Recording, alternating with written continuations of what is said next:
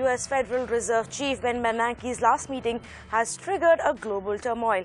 Tapers in action again. Federal Reserve policymakers cut the pace of bond buying for a second straight meeting. This signals a constant withdrawal from Bernanke's unprecedented easing policy as Janet Yellen prepares to succeed him as chairperson. Emerging market currencies have collapsed post the Federal Reserve move. Joining me now for more on this is Taimur Baig, Chief Economist for India at Deutsche Bank from Singapore. Taimur, good morning. Thank you for taking the time out. Good morning. Uh, the, the decision from Fed is not really surprising to many people out there.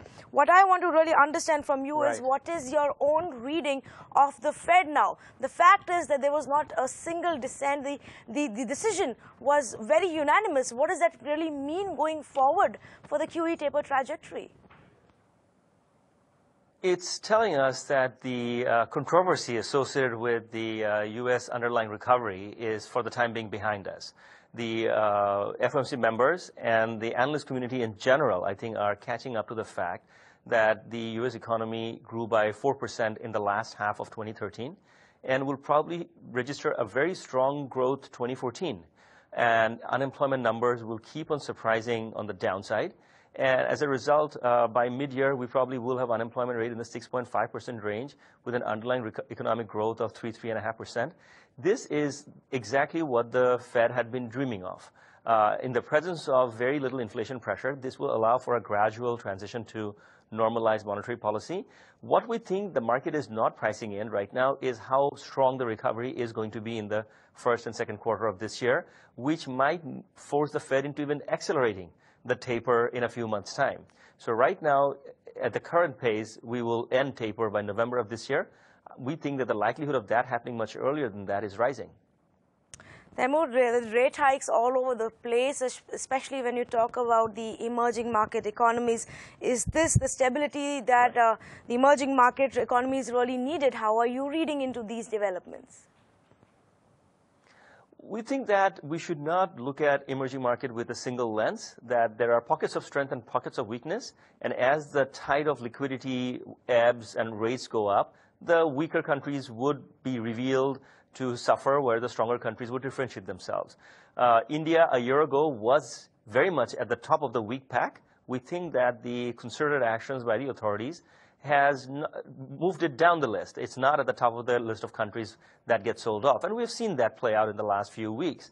Uh, you've seen uh, Argentina's turmoil spread over to Europe, uh, but much less so than on Asia, and particularly on India. I would like to argue that the uh, sell-off has been very, very muted uh, compared to the sort of sell-off we saw last summer uh, when, again, we saw risk aversion rise globally. Now, in terms of rate increases, uh, some countries have been uh, dealing with macroprudential measures much more than interest rate policy in the last few years. Uh, Turkey and Brazil uh, come to mind in particular, and these countries would have to move away from that and go back to conventional interest rate defense of their currencies.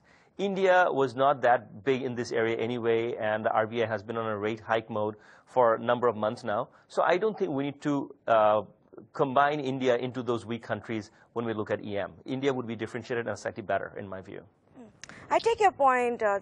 We do seem to be in a better place today than we were in May or June of 2013. But is too much of uh, being read into the current uh, current account deficit levels? Should we really put our guard down? Because a lot of it is still artificial. We've put down a lot of import curbs. The domestic economy is really not uh, reviving, so your uh, imports could probably actually uh, go up once that revival really takes place. And we're not really even seeing an, a pickup in your export side at this point of time. How, how comfortable are you with the way things are being read into the current account deficit? No, I mean, absolutely valid uh, points, and, and we should not get too carried away. I mean, we're talking about a country that was teetering on the brink of a currency crisis and a ratings downgrade just about six months ago. Uh, things cannot change that dramatically. You're right that the compression in import has been through administrative measures, and if those administrative measures are taken away, uh, imports could surge again. And of course, if there is a demand recovery, particularly in the investment side, that would also mean a pickup in capital goods imports. So the import side, perhaps we have seen the best already and uh, in terms of compression, and we might see it going up. On the export side, we still remain somewhat comfortable with the outlook. I know that the data has been mixed. We saw a pickup in exports in September, October, and then November, December numbers have been somewhat disappointing. But when we look at regional export data, uh, it's hard for me to see India lagging. Uh, partner country demand has picked up substantially, and not just in the U.S., but elsewhere. And, and we're seeing that in countries that are very exposed to the electronics cycle. But even beyond the electronics uh, cycle, we are seeing export demand rise, and India should see some pickup as well. Now, going back to the core question, which is the comfort level or lack thereof with respect to the current account, yes, even if the current account deficit is significantly lower than last year, it's still chunky. 45, 50, 55, whichever projection you take. These are large number in billions of dollars that need to be financed. And at a time when global liquidity is at a premium, this would be more challenging. Um, I, I think that India is in decent shape in terms of drawing that flow this year.